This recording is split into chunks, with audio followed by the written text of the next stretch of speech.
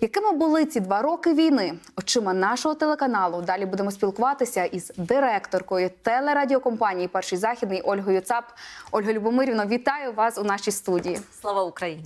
Героям нашим слава! Отож, два роки великої боротьби, не тільки військової, але й медійної. 24 лютого 2022 року. Яке було ваше перше рішення?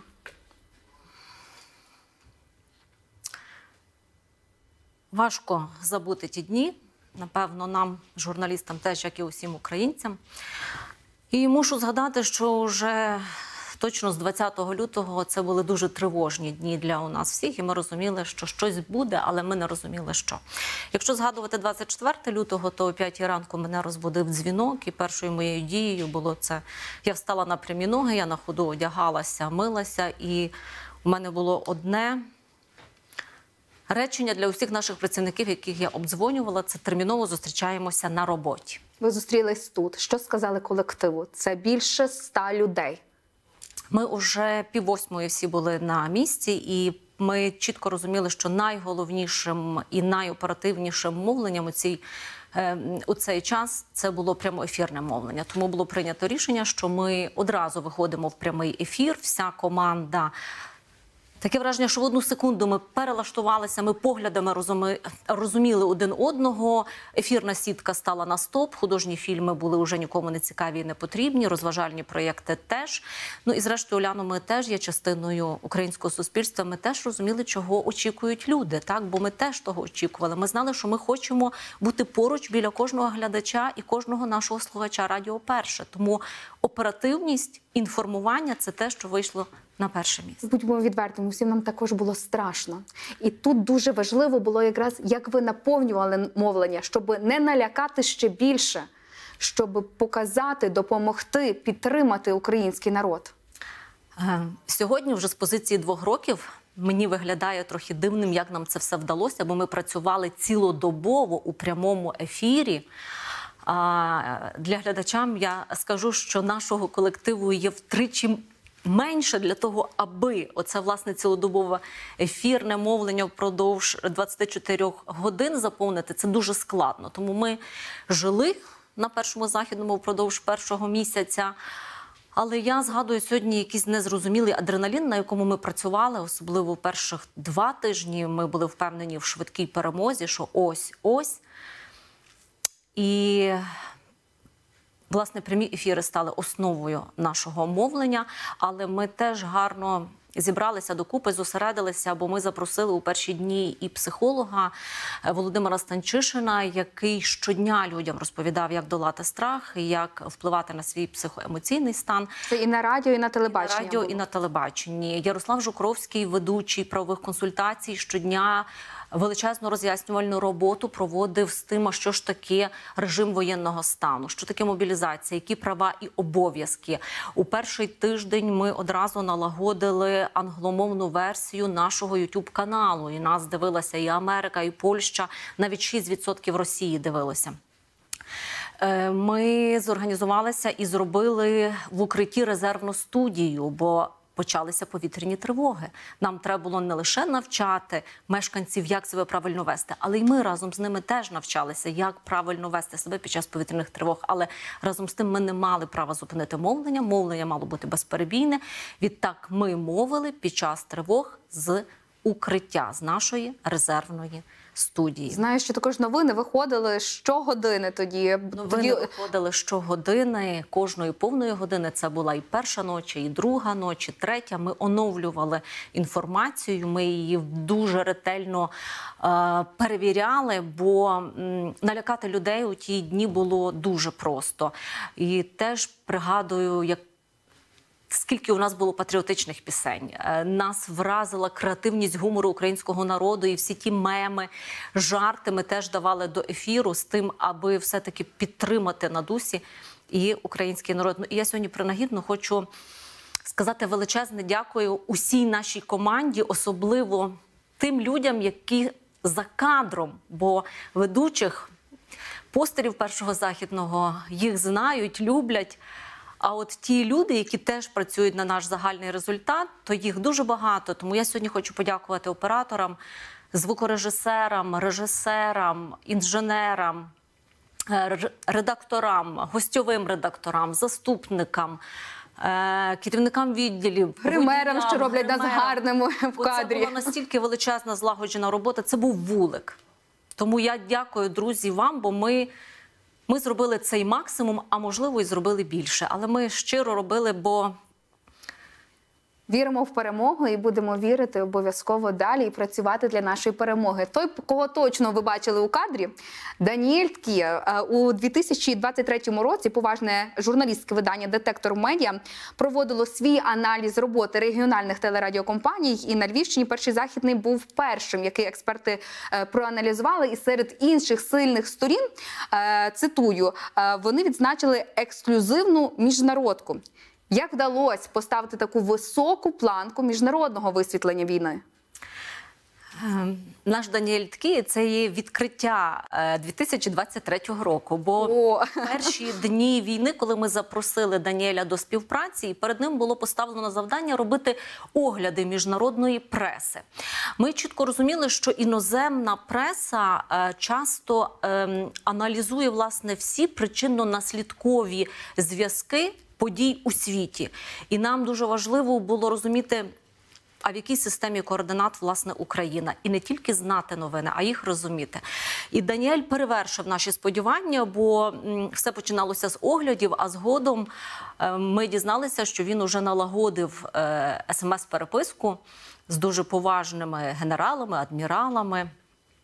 Е, і в якийсь момент Даніель почав записувати уже інтерв'ю з е, і міністрами оборони європейських країн, і з е, Конгресменами, з конгресменами, з послами. Так і сьогодні для нього це вже є запросто. Ну і найбільшим результатом було те, що у 2023 року перший західний був єдиним регіональним телеканалом, який запросили у штаб-квартиру НАТО на з'їзд міністрів оборони. І зовсім нещодавно, до речі, наш Даніель якраз повернувся. минулого звідти. тижня. Вернувся із Брюсселя, із Мюнхена, звідки він робив прямі включення у наші прямі ефіри. До речі, якщо ви хочете переглянути зараз ці інтерв'ю, то обов'язково на нашій сторінці у Ютубі ви їх усіх знайдете. Тому, будь ласка, вставте вподобайки, щоб нічого не загубити. Але це є і величезною роботою з тим, аби Україна не сходила з шпальт.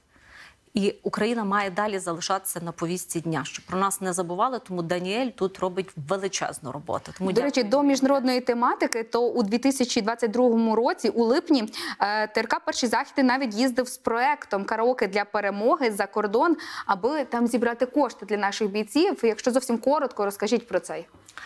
Е, Ми не лише збирали кошти. Насправді, Уляно, е, основна місія була це підтримати вимушено переміщених українців, які втікали від війни на той момент жили у Польщі, а також е, подякувати полякам, бо вони перші відчинили кордони перед українцями. Тому ми, ми у п'яти містах провели такі вуличні свята. Е, Ми мали з собою відео. Ми розповідали, як живе Україна під час війни. Ми показували зранених людей війною. Ми показували наших військових. Тому ми зібрали тоді кошти власне на дрон для нашого ведучого Віктора Біщука, який в- в цей момент був у лавах збройних сил України. Життя під час війни є, і наші ефіри це постійно доводять. У них люди і одружуються, і е, народжують, і створюються нові пари, закохуються. І буквально нещодавно е, на радіо перше під час виїзної студії один із наших львівських рятувальників зробив пропозицію своїй коханій. До речі, якщо комусь цікаво, то вона відповіла так. Отож, е, розкажіть про ці виїзні студії, якраз радіо перше. Чи людям зараз в час війни відгукуються такі студії? Радіо перше за останніх два роки війни стало справжнім другом наших слухачів, ем, експертом з різних питань, психологом. І е, власне радіо перше впродовж ем, першу е, впродовж трьох місяців війни ретранслювало 10 е, районних радіостанцій, які в той час з тих чи інших причин не могли мовити. І тут треба теж е, нагадати, що радіо мало свій цілодобовий ефір. Ну а е, впродовж 23-го року, то мабуть майже 10 заходів ми зробили виїзних, де ми їхали ближче до людей. Це була і автостанція, це була і е, резиденція Святого Миколая, це і було місто Броди у День захисника України. Тому я думаю, що ми теж сьогодні маємо подякувати команді наших радійників. До речі, живі концерти на радіо. Живі концерти на радіо це перше, що ми тоді зробили у студії, е, куди приходили артисти. І в той момент е, ми зібрали чимало коштів для війська, але разом з тим ми підтримували психологічно-моральний стан наших людей.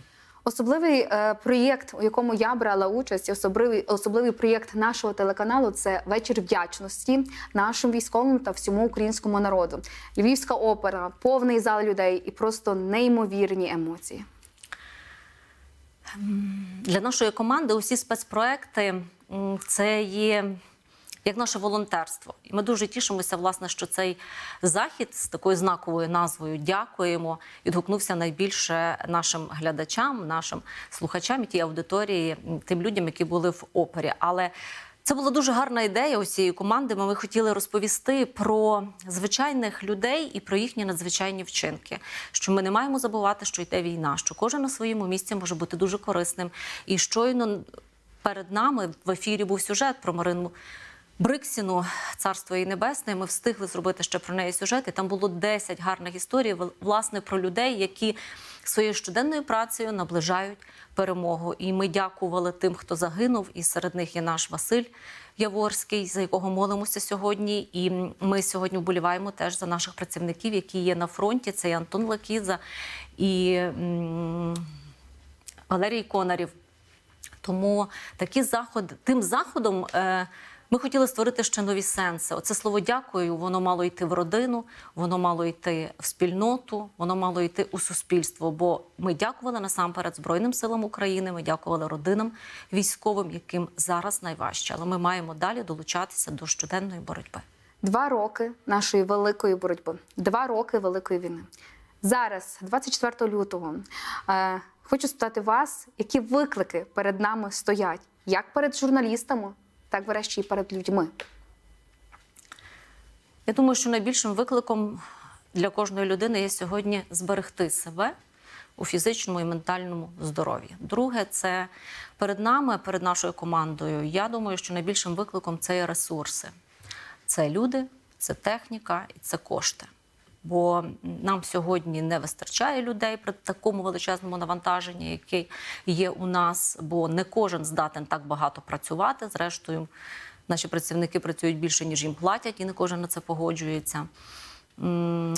Техніка, якої нам теж бракує, бо прямоефірне мовлення вимагає е, ще більших зусиль і ще більш якісної, ефективної техніки. Так? Ну і звичайно, кошти. Бо якщо йдеться про спецпроекти, то за оренду оперного треба було заплатити за світло, звук. Тому цей захід без меценатів не відбувся. Тому, звичайно, що найбільші виклики це сьогодні ресурси, і нам треба цінувати насамперед наш людський ресурс, берегти нашу команду з тим, щоб ми могли далі ефективно працювати. Ольга Любомирівна, ви подякували нашому колективу, подякували і телебаченню, і радіо. Подякували всім, хто нам допомагає. Подякували нашим хлопцям, які нам е, які служать з нашого колективу. Е, Згадали, на жаль, і Василя, який е, загинув в боротьбі за нашу незалежність. Але наша праця була би марною без нашого глядача. Так, сьогодні ми теж маємо подякувати нашим і глядачам і слухачам, бо за останні два роки війни ми. Посідали п'яте, десяте місце в залежності від літнього чи зимового періоду у рейтингах в інтернет-телебаченні, які регулярно проводить е, Big Data UA. Це найлегше дослідження, яке є, і яке ми можемо отримати. І за останні три місяці ми вже посідаємо почесне третє місце.